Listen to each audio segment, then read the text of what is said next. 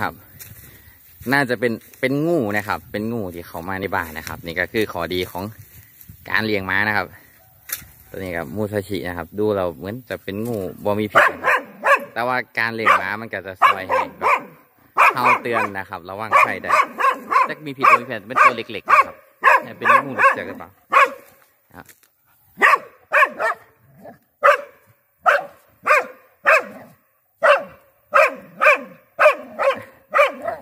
ครังอันก็จะซอยเฮาเตือนระวังไผ่เดนอนนะครับ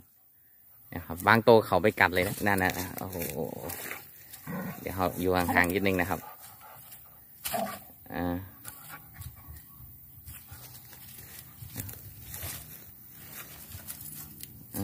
ไปไหนละ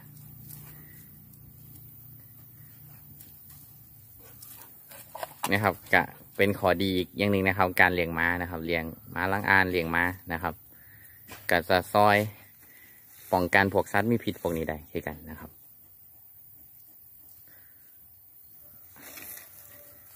ลบสอนยากเยอะครับ เอาอยู่มืดมือตัวเบิ่งเบิ่งเบิ่งมันขุดอะดึงหาเลย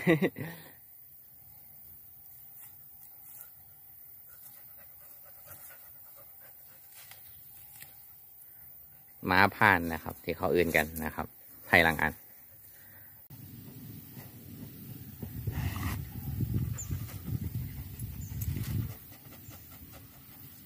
ดมหาเหยื่อนะครับ